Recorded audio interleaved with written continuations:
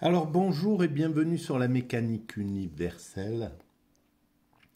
Euh, nous sommes toujours le 25 décembre 2022 et je continue mes petites euh, promenades parce que nous sommes des voyageurs, des êtres humains voyageurs. Nous sommes des nomades originels et nous allons vers une forme de nomadisme bienveillant, amoureux. Voilà comment je considère l'évolution de l'humanité lorsque nous aurons atteint le premier palier, euh, le prochain palier, la, la paix universelle, Il y en a d'autres un petit peu avant quand même, évidemment. Hein. Il y a d'autres paliers à, à, franchir, mais un palier un peu plus lointain sera la paix universelle. C'est ce que vise intuitivement l'humanité. Nous évoluons vers cela. Nous évoluons vers la paix universelle, la fraternité et le palier euh, absolue, l'extase, l'éveil, le nirvana, etc. etc. Euh, voilà, cet état euh, subliminal, cet état un peu supérieur. Voilà. Alors, je continue donc pour, pour aller vers Nietzsche, justement, pour aller vers ce Nietzsche-là. Nietzsche, le crépuscule des idoles eh bien, on va faire comme, euh, comme on sait le faire, nous les humains, en, se promenant, en prenant des, des, chemins de traverse, en allant expérimenter un peu tous les espaces, en cherchant à comprendre notre curiosité, le divin, le principe créateur auquel nous appartenons, nous en faisons partie de ce principe qui a créé, qui a créé cet univers et qui s'est inclus dans l'univers cette curiosité bizarre dont on ne sait rien, qu'on appelle Dieu, qu'on puisse l'appeler euh, le vide quantique, n'importe, X, peu importe, ce truc qui a créé cet univers et qui s'est inclus dans l'univers, dont euh, il l'univers est constitué de ce divin-là. Et donc nous qui sommes constitués de cet univers, nous sommes constitués de ce divin. Nous sommes divins sans le savoir. On le sait que quand on accède à l'extase. D'où notre quête, la quête incroyable de l'humanité pour aller vers cette extase. Et on ne sait pas pourquoi on va vers cette extase. C'est ce qu'on cherche. On le flaire, on est là. Euh, l'extase, on, la cherche déjà dans la, dans la vie ordinaire. L'extase, c'est... Euh, euh, la, jouissance sexuelle, c'est la publicité de l'extase, c'est une, une sorte d'éclair d'extase. Et c'est quand même pas anodin que la vie soit mue par, ce, par cette puissance-là, par, ce désir d'extase, par ce désir et, toute la forme, toute forme de vie, hein, que ce soit les fleurs qui euh, explosent leur, euh, leur pistil etc. Ou qui, voilà, c'est on, toute forme de vie est mue par ce désir de plaisir, de jouissance. Voilà. Euh, et d'ailleurs, ça devrait être une cause mondiale, permettre à chacun de pouvoir vivre de façon euh, respectueuse et, et, pleine d'amour, quoi. Hein. Euh, ce plaisir avec, euh, avec ce qu'il aime, celui, celle qu'il aime. Voilà. Euh, et, et, on, et, on, voit à quel point le néolibéralisme est, est, meurtrier, en somme, de, de, des, grandes, des grandes aspirations de l'humanité. Il détruit les, les, grandes aspirations de l'humanité pour construire la sienne et essayer de nous faire croire que le consumérisme, que consommer, que, que voilà, que qu'acheter ses produits, c'est le top. Mais non, on est des, on cherche à aimer, on cherche à, ressentir, on cherche à, à, atteindre, à contempler, à être dans, dans la fraternité, dans l'amitié, dans toutes ces valeurs-là. Et comme c'est le comme c'est l'oligarchie qui a pris le pouvoir, eh ben elle donne, elle, croit que l'idéal c'est c'est de donner à l'ensemble du peuple, à l'ensemble de l'humanité, euh, ses propres quêtes. Euh, l'oligarchie, sa quête, c'est le pouvoir, c'est l'argent, c'est etc., etc. Et donc elle croit qu'elle nous fait plaisir, qu'elle fait plaisir au peuple. Ça, ça, part d'un bon sentiment. Hein. Elle croit qu'elle fait plaisir au peuple en lui, en, lui disant voilà, il faut devenir des Bernard Tapie, des Berlusconi, c'est ça, regardez-nous, nous, nous sommes magnifiques, on est beau, on est narcissiquement magnifique. Et donc, on a. Euh, c'est parce qu'on vous aime, on veut que vous nous ressembliez. Mais on ne veut pas vous ressembler. Le peuple, il a juste envie de, de l'amitié, de la fraternité, de l'amour, de ce dont je parlais tout à l'heure. Voilà, pouvoir. Et pourquoi, pourquoi ce monde pousse cette humanité à la solitude, quoi? C'est quand même incroyable. Voilà. Bon, bref, il y a beaucoup de chemin à faire pour atteindre cet état. Alors, je reprends ma lecture de cet ouvrage euh, qui, qui, servira d'introduction à ma réflexion sur le crépuscule des idoles. Donc là, il va falloir euh, s'armer de, patience parce que je pense que le nombre de vidéos devrait euh, frôler les, les 550 000 à mon avis pour finir, pour venir à bout de Nietzsche. 550 000 vidéos de 30 minutes.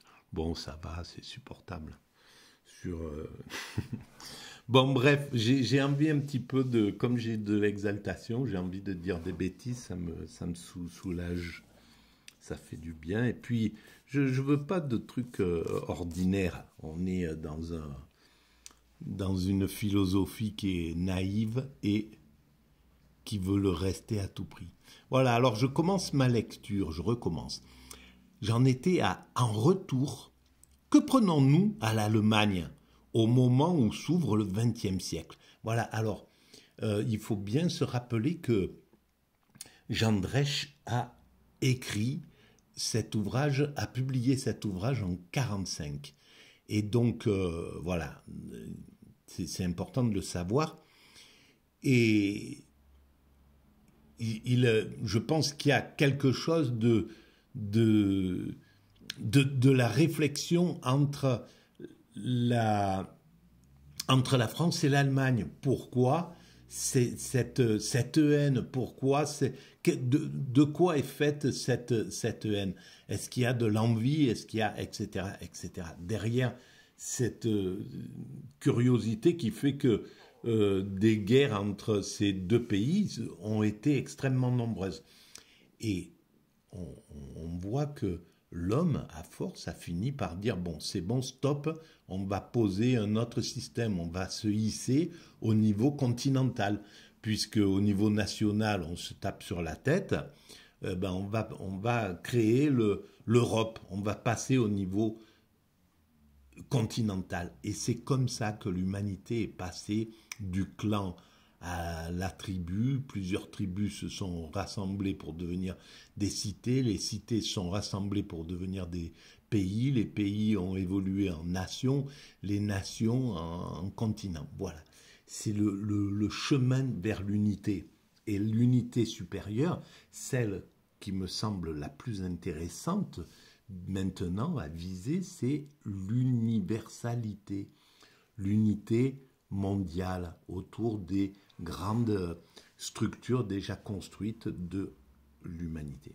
Voilà, alors, euh, nous continuons à lire ces ouvrages scientifiques, mais avec le souci de les dominer et de les clarifier lorsque nous nous en servons avec une admiration moins aveugle qu'autrefois et un contrôle plus sévère. Alors voilà, c'est ça. Donc euh, il y a il y avait une admiration mutuelle. Et parce que nous sommes différents. La philosophie française et la philosophie allemande est complètement différente. La philosophie anglaise est différente, la philosophie italienne est différente, espagnole, etc. C'est ça la beauté de cette, de, de, de, cette humanité. Et on peut dire la philosophie africaine, la philosophie arabe, la philosophie chinoise, la philosophie euh, indienne, etc., etc. Donc maintenant, l'intérêt, c'est le symbiotisme. C'est la symbiose entre chaque, euh, chaque créateur que nous sommes, chaque nation, chaque communauté créatrice. C'est nous devons aller vers la symbiose. C'est notre but et il faut qu'on prenne conscience le plus rapidement possible pour sortir de, des dangers de l'évolution euh, par la guerre, de l'évolution par la violence, de l'évolution par la haine, de l'évolution par la domination et par l'abus des plus faibles, etc., etc., qui peut engendrer des révolutions, des révoltes, des, des guerres mondiales, etc. On doit sortir de, ces, de, de ce principe-là. Bon, je continue. Alors, dans le théâtre ou le roman, nous lui faisons peu d'emprunt. Que peut nous offrir une littérature qui ne s'élève pas au-dessus de Paul Hayes, de Suderman, de Hopman ou de Lillencron, alors que Stéphane Georges, alors que Stéphane Georges, voilà, alors que Stéphane Georges Hoffmannsthal démêle Rilke n'ont pas encore conquis la célébrité. Eh bien, de tout cela, je connais que Rilke. Deux personnalités seulement sont dominantes et font la gloire de l'Allemagne. Toutes deux disparues, mais plus rayonnantes que jamais. Wagner et Nietzsche. La France est parmi toutes les nations l'une des premières à les accueillir. Lohengrin est joué à l'opéra en 1891 et depuis lors, tous les drames de Wagner, à l'exception de Rienzi et du vaisseau fantôme, ont été adoptés par notre grande scène lyrique. C'est un Français, Taine, qui, l'un des premiers en Europe, a pressenti le génie méconnu de Nietzsche. Wagner et Nietzsche n'ont rien perdu aujourd'hui aux yeux des Français de leur exceptionnelle valeur. Cependant, ils passent à tort ou à raison pour avoir été des esprits directeurs de cette Allemagne si violemment opposée à notre civilisation. Pourquoi elle est opposée à notre civilisation? Voilà, on se retrouve avec euh, le, même problème avec la, Russie et l'Occident. Qu'est-ce que, pourquoi il y a cette, ce, euh, cette opposition? Cette détestation. Alors, là il y a de la mécompréhension. Pourquoi nous ne sommes pas allés parler? Pourquoi nous allons pas parler avec autrui? Qu'est-ce qui te dérange dans notre façon de d'agir? Alors, si, on écoute ce qui est dit, on peut rectifier. Là, vous, ce que vous faites, cette, la façon dont vous vous comportez ne nous convient pas envers nous.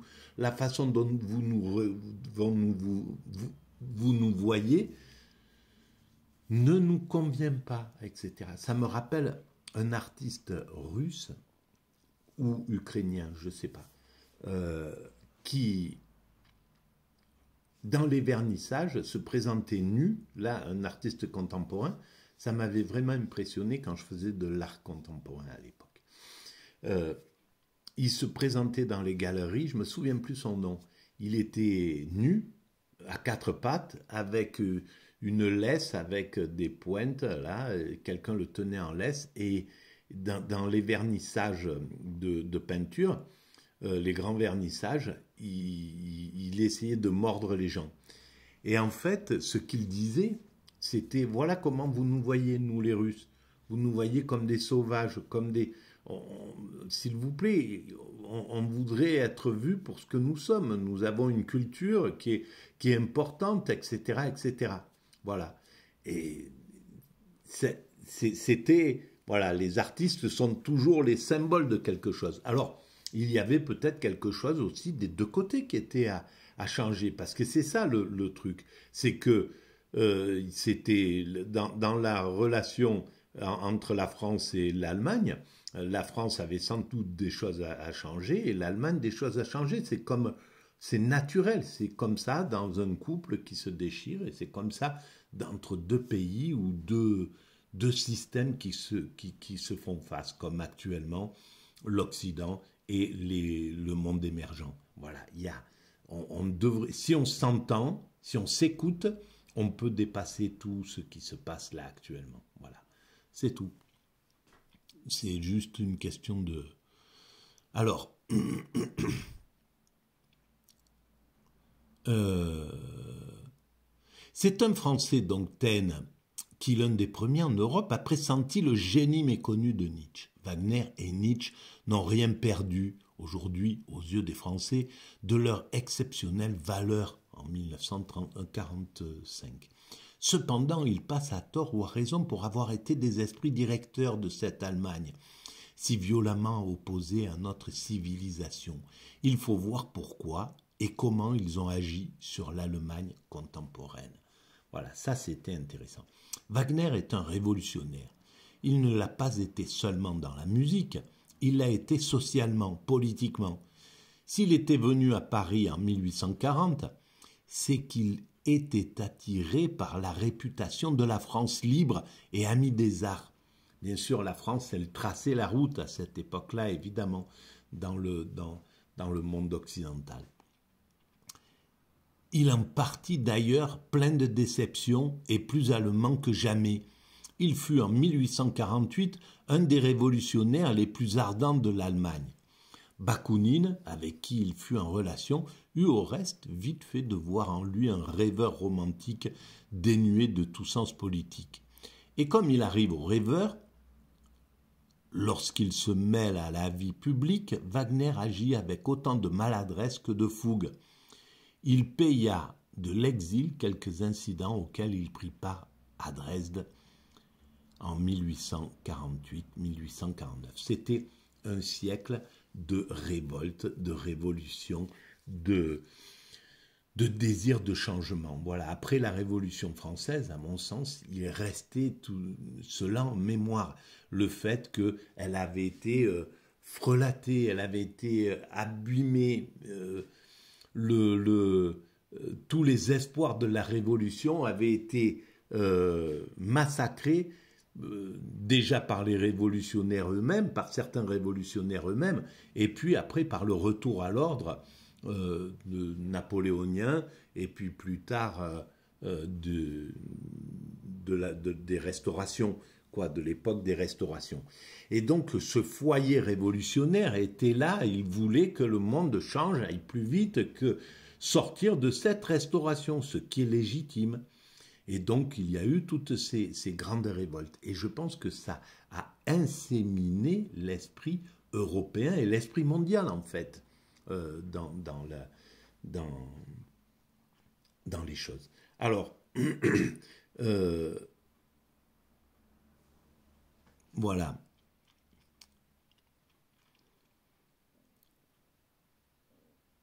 Hmm. Exil salutaire passé à Zurich, où il connut la gêne matérielle, mais qui permit à ses tendances artistiques d'atteindre leur pleine maturité. C'est alors que fermente dans sa pensée toutes ses créations futures et qu'il fixe ses théories dramatiques dans Art et Révolution, ah ben carrément, tiens, 1849, euh, l'œuvre d'art de l'avenir, 1849, opéra et drame, 1850. Voilà, alors il y a la réflexion sur l'avenir qui se pose. C'est au nom de l'instinct populaire que Wagner entend renouveler la société de l'art, de l'instinct populaire. Voilà, alors pourquoi partir dans cette vision-là qui a, qui a aussi animé je pense, Nietzsche à un certain moment. Il attaque toutes les formes existantes de la civilisation, la propriété qui engendre la richesse et le luxe égoïste, l'État qui oppose ses lois artificielles à la vie naturelle, les religions nées de la doctrine du Christ, dont Wagner honore l'auteur, mais qu'il condamne dans son application. Son idéal est hellénique, son sentiment repose sur une conception de l'homme beau, fort et libre. Le christianisme a tué la joie en ce monde, condition de l'art. Alors là, il y a deux choses. L'homme beau, fort, euh, etc., c'est narcissique, hein, cette, vision. Évidemment, c'est pas une vision qui voit le monde tel qu'il est, qui aime les hommes tels qu'ils sont. Euh, il y a, y a l'idée d'une classe de dominants derrière, etc. Par contre, le christianisme qui a tué la joie en ce monde, alors, et on, peut le voir schématiquement comme ça, le fait que euh, le, christianisme avait un impact très important sur la société. Euh, il condamnait tout un tas de choses, et tout en, en, s'autorisant lui-même des débauches de luxe, etc. Donc il y avait quand même en même temps un, problème. Et c'était contestable, c'était normal de contester la, façon dont le christianisme se comportait et, l'oppression, la domination qu'il avait sur le monde. C'était légitime de, contester cette domination et d'appeler à la laïcité en somme, à la liberté. Euh, à plus de liberté dans l'art et dans tout, quoi. Voilà. Et donc là, c'est légitime. Voilà, je continue. Au Moyen Âge, l'art s'est vendu à l'Église. Il fut ensuite à la solde des princes. Il est aujourd'hui tributaire de l'industrie. Voilà, mais ça, c'est comme ça. Ça a été ses sponsors et on ne peut pas dire que il, a réussi à s'émanciper l'art à travers même l'oppression de l'Église, l'oppression de, euh, de, des princes et puis l'oppression des pouvoirs maintenant et, et de, et de l'argent c'est l'art, il, il, parvient toujours à être libre parce que les dominants le respectent euh, au final, malgré tout. Ils, voient le génie, ils savent qu'ils peuvent pas s'étaler avec avec eux, donc ils le laissent à peu près tranquille, quoi. Même si euh, voilà, il y a des contestations, mais ils se rendent bien compte que l'état d'esprit de l'artiste est bien au-dessus de l'état d'esprit du politique ou du religieux en, ce qui concerne euh, la, la, la vie euh, humaine classique. Donc, euh, et même les marchands, les marchands, là, voilà, ils se, ils, s'étalent pas avec les artistes quand ils sont à côté. C'est voilà, c'est vénération. C'est ceux qui vénèrent. En plus, ils, voilà, ils ont le sentiment que qu'il faut vénérer tout ce qui est au-dessus et mépriser tout ce qui est en dessous, comme tout système un peu narcissique. Bon, voilà. Euh, seule une révolution de l'humanité peut faire du théâtre ce qu'il était autrefois. L'art alors pourra renaître de l'âme populaire. Voilà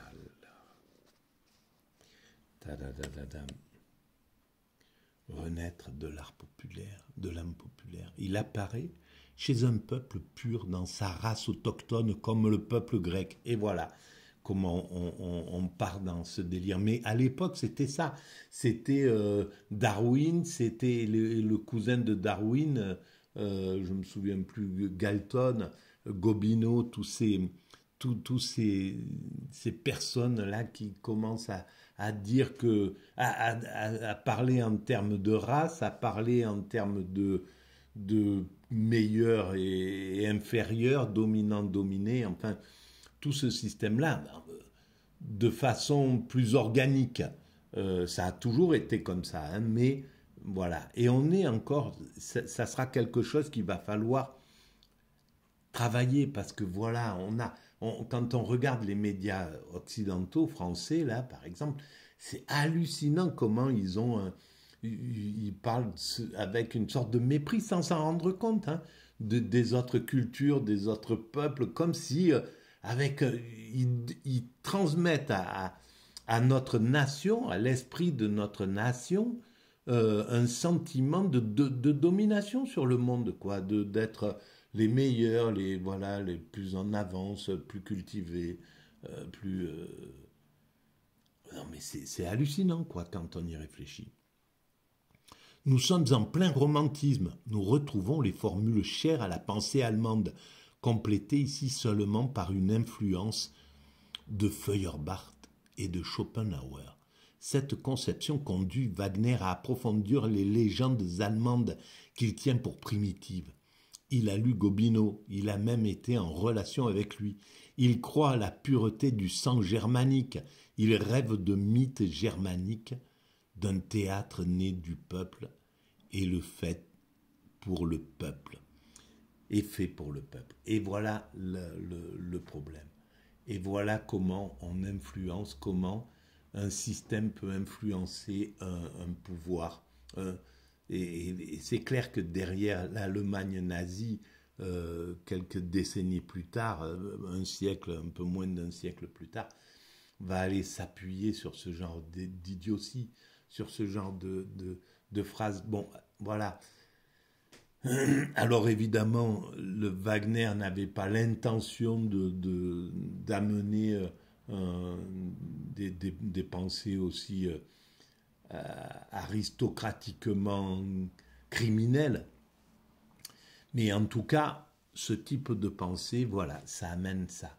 D'où l'importance de monter maintenant au niveau universel, de penser l'universalité, de penser l'ensemble humain dans son ensemble, l'humanité dans sa totalité, en sachant que chaque être, chaque totalité, chaque être humain est vital et, et, là et participe de, la même force. C'est pour ça que la mécanique universelle éclaire complètement ça, en montrant que le SDF euh, et, le sociologue qui écrit sur le SDF euh, travaillent exactement pareil pour l'humanité, fournissent euh, leur vie entière, tout leur travail à, à l'humanité. Donc il y a quelque chose qui arrase sur la mécanique universelle qui permet vraiment une universalité totale, absolue euh, et respectueuse de tous. Voilà, voilà vers quoi nous devons aller. Donc, euh, fait pour le peuple. Le théâtre seul, selon lui, répond à notre besoin de satisfaction esthétique il est le confluent de la vie individuelle et de la vie collective, le temple où l'égoïsme disparaît, et l'art dramatique synthétique que Wagner veut renouveler représente la rencontre fraternelle de tous les arts, danse, musique, poésie, architecture. Il est la manifestation de l'œuvre supérieure commune à tous. Il est véritablement religion. L'éducation esthétique de Wagner rejoint celle de Schiller. Je vais arrêter là.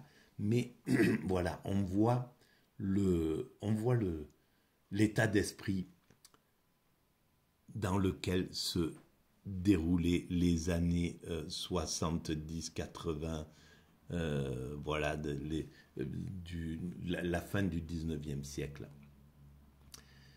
Euh, et c'était l'époque coloniale, il ne faut pas l'oublier. Et donc, cet état d'esprit correspondait absolument aux colonialistes, au monde colonialiste, au monde qui se pensait dominant par rapport aux autres. Et il fallait à tout prix qu'ils se considèrent comme ça pour pouvoir dominer. Parce que s'ils se considéraient comme leur égal, c'était, c'était plus, ils pouvaient plus faire la colonisation clairement.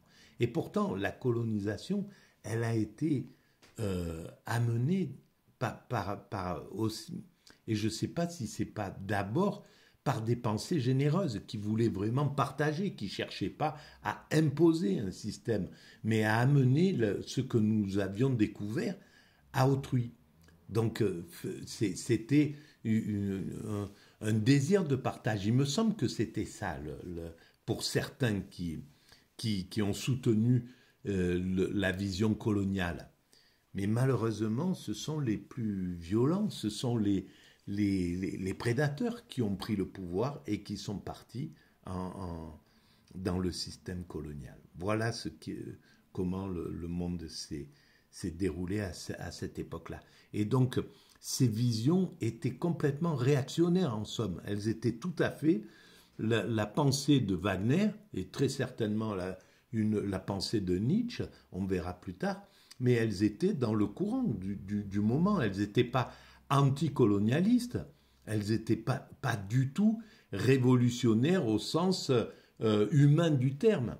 C'est ça le, le, problème. Parce qu'ils existaient, les révolutionnaires humainement parlant, et qui luttaient contre l'idée de la, de la colonisation. Et, et c'est pas eux qui ont pris le pouvoir, parce que le pouvoir voulait faire passer plutôt les Wagner que les, que les anticolonialistes. Voilà l'idée qu'on peut dire sur tout ça. Je vous remercie et je reprends dans la foulée. À très bientôt.